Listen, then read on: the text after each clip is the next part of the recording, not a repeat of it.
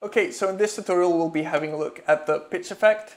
So if you go up here in the browser, click this arrow and go into MIDI effects, just drag in pitch on, uh, let's, let's just use the left launchpad um, for these tutorials.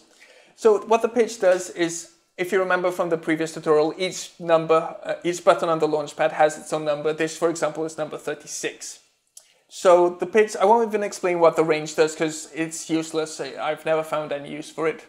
Um, basically what it does is, okay, um, we're sending 36 from the launchpad into Ableton, um, and it's going, so here we've got 36, and it's going into this effect.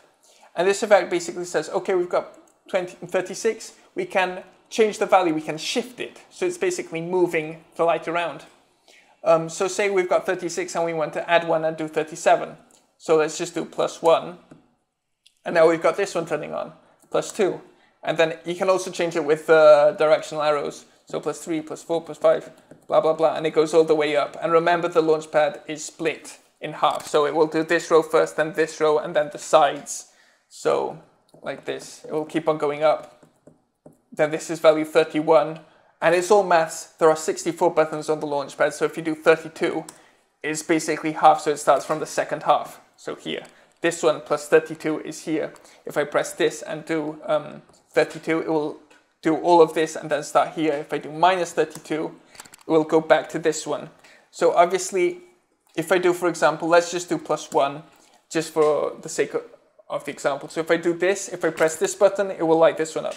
If I press this one, it will light the next one up. So it's always lighting the next one up, okay?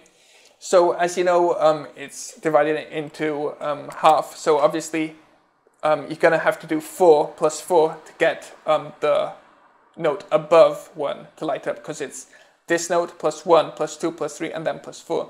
So if we just start from 0, we do plus 1, plus 2, plus 3 and plus 4. So wherever I press, it's always going to light the note above it now. Or if I do minus 4, it's going to light the note under it. So just try and get a pitch, um, just drag a pitch into your um, track and just play around with it, see what lights up what. Um, and yeah. So that's kind of how it works. Just I wanted to show you um, all of the, like the order of the pitch, just so you can see it for once. Um, so it goes all the way up here, 31, and then 32 it starts on the second half of the launch pad. And then it keeps on going up. And then it gets all the way up here to 64. Um, 64 would be, uh, this is zero obviously, so then 64 will be this one. And uh, it keeps, well, 64 and then 65, 6, uh, whatever, and it does the side notes too.